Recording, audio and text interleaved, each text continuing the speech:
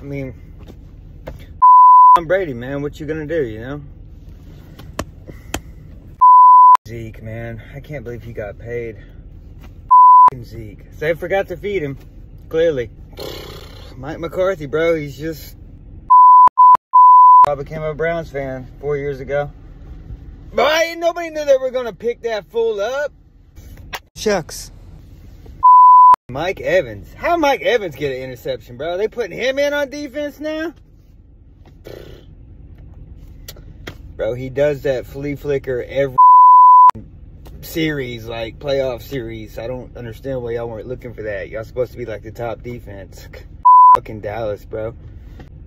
It's always next year, bro. I mean, we next year, it's for sure, right? Man, bro, Jason Witten would have caught that. This was our year. Fucking Tom Brady. Tom Brady, bro. This shit's gotta be rigged. It's like the first time this has ever happened.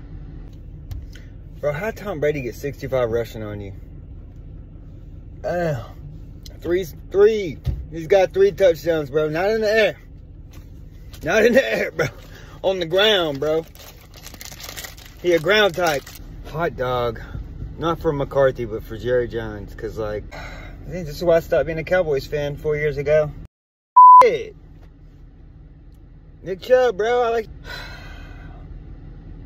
Cowboys, bro. I mean,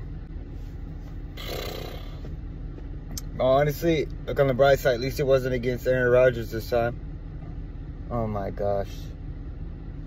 Golly gee, bro. Top defense, my arse. what did I miss? How the fuck is it 45 to 1? They ran a two point conversion back?